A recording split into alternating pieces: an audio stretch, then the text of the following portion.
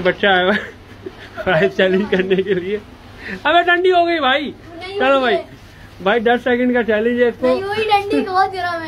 मैं यही वीडियो डाल दूँगा बोल कर दूँगा पहले बता रहा हूँ। ठंडी हो गई चलो। मैं अबे मैं ये वीडियो डाल